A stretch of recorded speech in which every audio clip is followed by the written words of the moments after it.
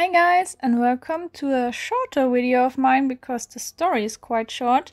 But today, as you might have found out, there is another fairy tale video. And I let you guys vote on Instagram and this story quite polarized, which this topic mainly very often polarizes, so I understand.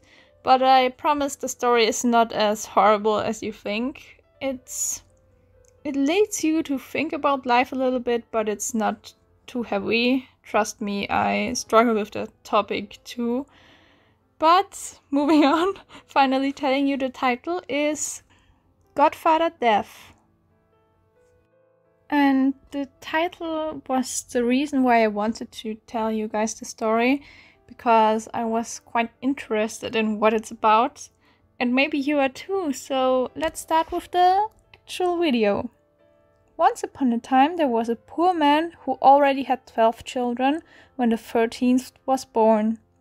Since he was at his wits' end and in such distress, he ran into the forest where he encountered our dear Lord, who said to him, I feel sorry for you, my poor man. I shall stand sponsor to your child at the baptism and take care of him so that he'll live happily on this earth. Upon saying this, the Lord left him standing there and moved on. Soon thereafter, the poor man encountered Death, who likewise spoke to him and said, I want to be your godfather and stand sponsor to your child. If he has me as his friend, he will never be in need. I'll make him into a doctor. I'm satisfied with what you say, said the man. You don't make a difference between rich and poor when you fetch them. Tomorrow is Sunday.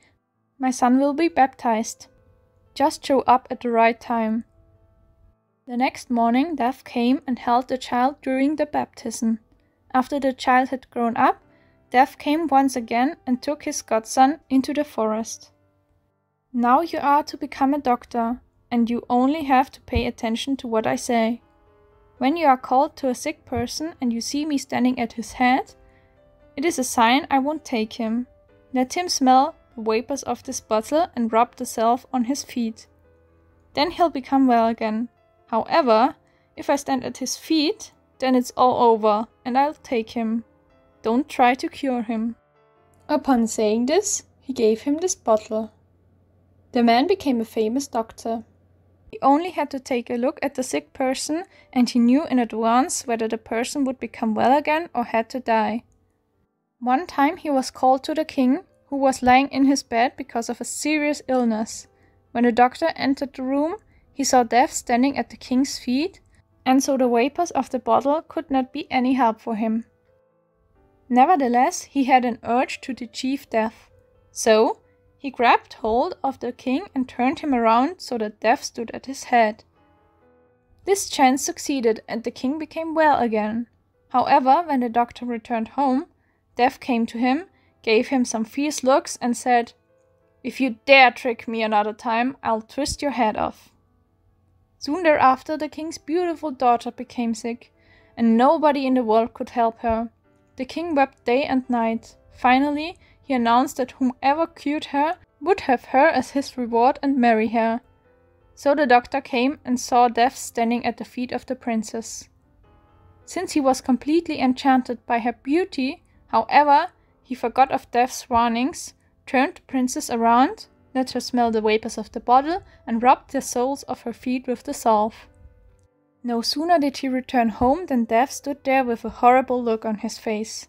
Then he seized his godson and carried him to underground cave, where a thousand candles were burning. Take a look, Death said. These are the candles of the living.